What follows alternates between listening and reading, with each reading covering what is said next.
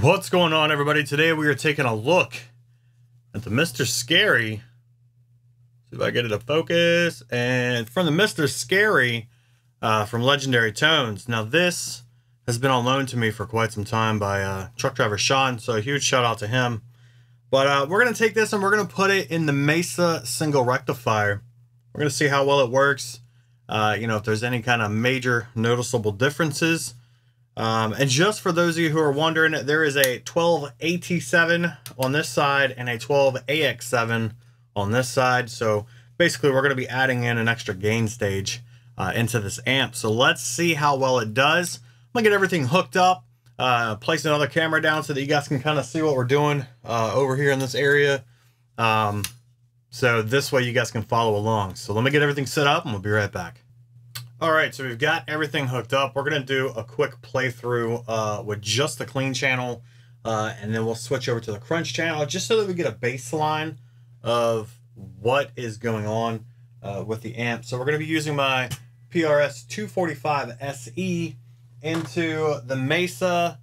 Um, I do have my, uh, let's see, my Klon KTR is going to be plugged up for a boost if we need it. It is currently off uh, that is going into the Mojotone ISO cab. And let's go ahead and set you guys. Uh, yeah, we'll set you guys right there. Hopefully you guys can see it. And let's get into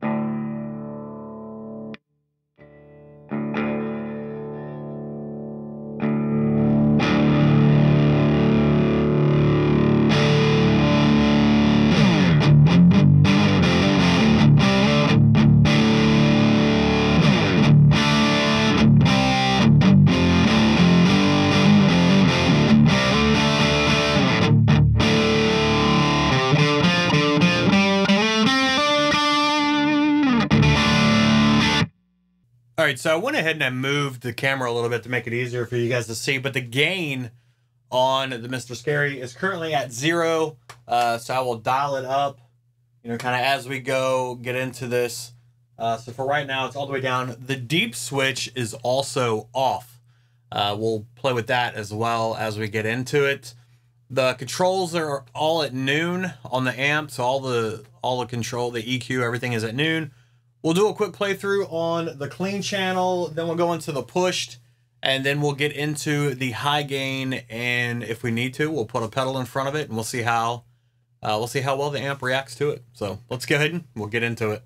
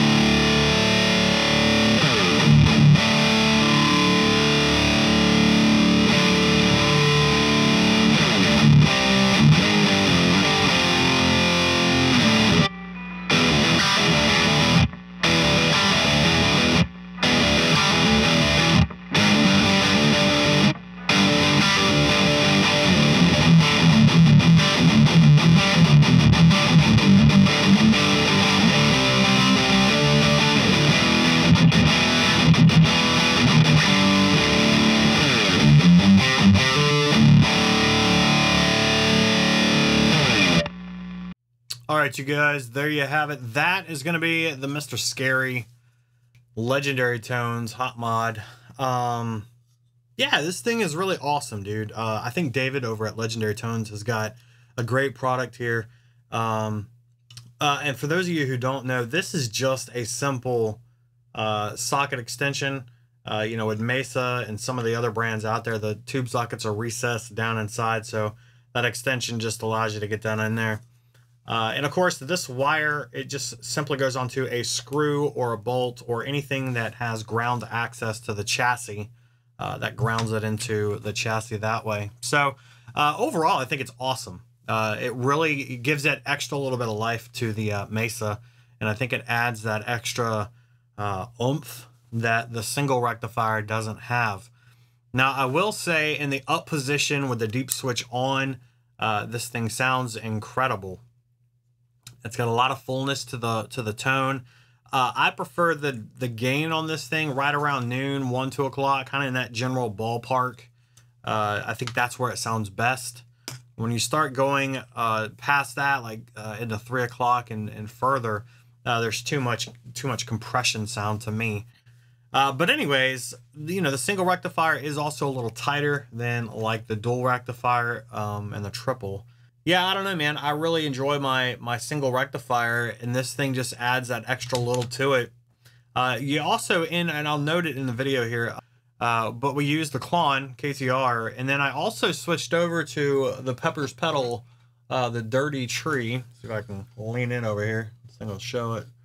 Yep, that's my purple and gold Dirty Tree. So uh, you know, I had that going, and I think it sounded best with that style of overdrive. I have it in the um, TC Electronics mode and the TC mode uh, versus the DT.